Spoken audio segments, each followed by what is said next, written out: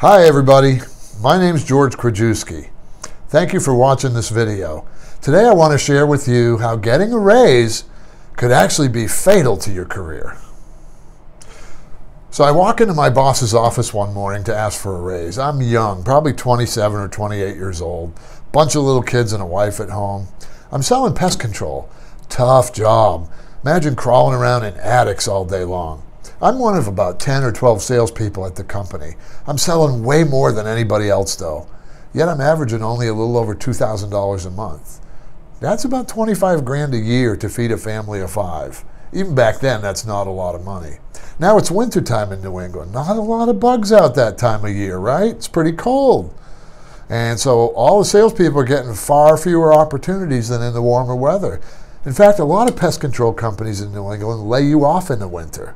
I was working for this particular company because they promised me year round work. So I think it was March, just before things are going to start picking up for the year.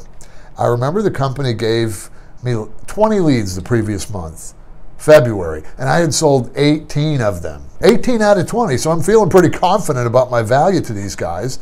I talked to my wife and we decide I'm going to go in the next morning and ask for a raise. So the general manager is one of these guys who's larger than life, you know. I think his name was Dave. Always wearing sunglasses, even indoors, snakeskin cowboy boots, ever present cigar.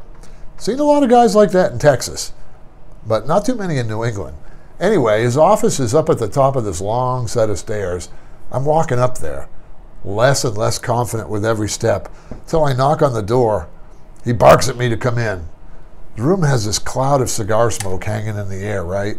And this was before any laws against smoking in buildings or anything like that. He's sitting behind his big desk with his feet up on it. He gestures for me to come in and sit down and asks me what he can do for me. Now, I've rehearsed my pitch all morning, and I think it's pretty good.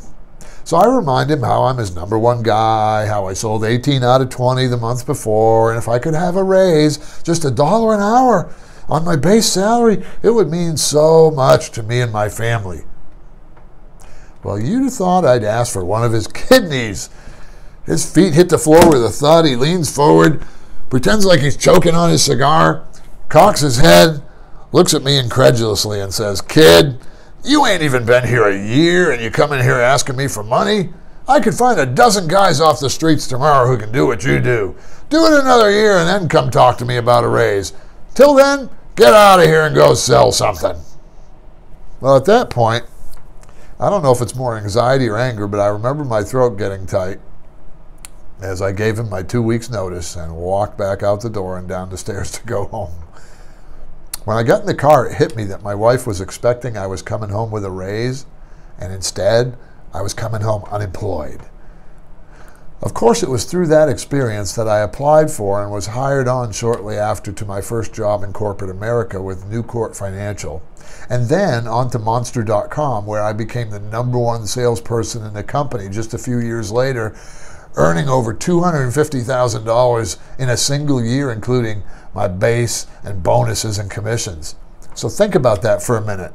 To go from making 25 grand a year to over 250 grand a year.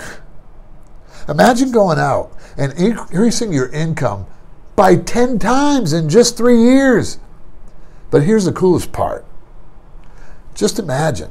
Imagine if he had given me that raise. I'd have driven home happy that day, that's for sure. My wife and I would have probably gone out to celebrate. But I might be still selling pest control today. And I might have missed out on all the opportunities that have changed my life since then. All for a measly dollar an hour.